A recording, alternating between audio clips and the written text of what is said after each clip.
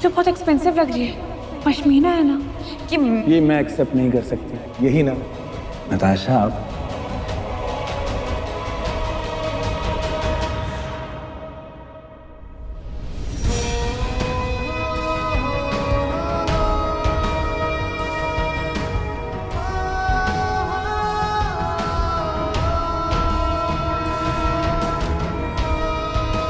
I knew तुम्हें मेरी ज़रूरत होगी। मैं तुम्हारी आँखों में आँसू नहीं देख सकता, Natasha.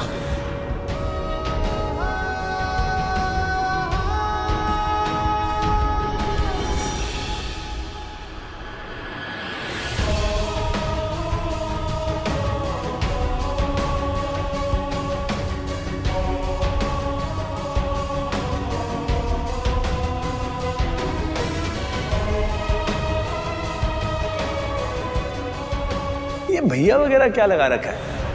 I am your friend treat me like one पहले भी कहा था ना कि ये भैया जी, इनकी ज़रूरत नहीं है।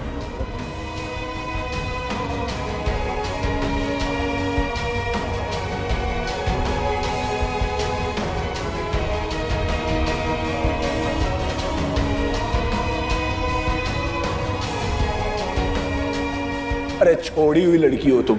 हर लड़की को एक मर्द के सहारे की ज़रूरत होती है, नताशा।